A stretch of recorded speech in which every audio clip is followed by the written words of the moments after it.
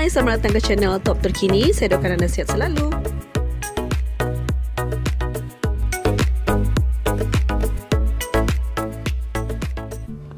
Dipercayai kali terakhir pelakon dan pengarah Syamsul Yusof berkongsi aktiviti di Instagram miliknya adalah pada November tahun lalu dan sejak itu tiada lagi sebarang hantaran dimuat naik.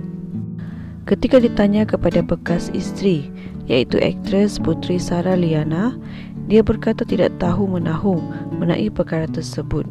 Menurutnya, dia hanya berhubung dengan Syamsul mengenai urusan anak-anak sahaja dan tidak lebih daripada itu. Kita semua dekat KL saja. Kalau katakan raya pertama itu dia nak datang jumpa anak-anak, okey saja.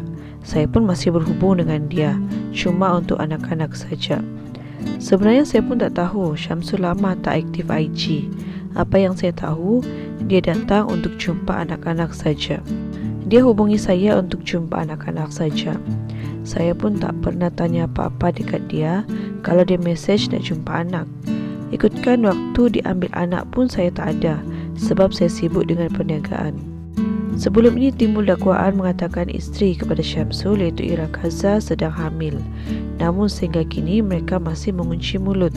Malah sejak daripada dakwaan itu tular, Ira juga sudah tidak lagi aktif di Instagram dan TikTok miliknya. Untuk info, Sarah pernah berkahwin dengan Syamsul pada 8 Mac 2014 dan dikurniakan sepasang cahaya mata iaitu Syekhul Islam dan Sumayyah. Pada 14 Jun tahun lalu, kemulut rumah tangga Sarah dan Syamsul akhirnya menemui titik nokta apabila disahkan bercerai di Mahkamah Rendah Syariah Kuala Lumpur. Syamsul kemudian mengejutkan ramai pihak apabila mengumumkan sudah bernikah dengan Ira pada Januari 2023. Terima kasih sudah like, comment and subscribe.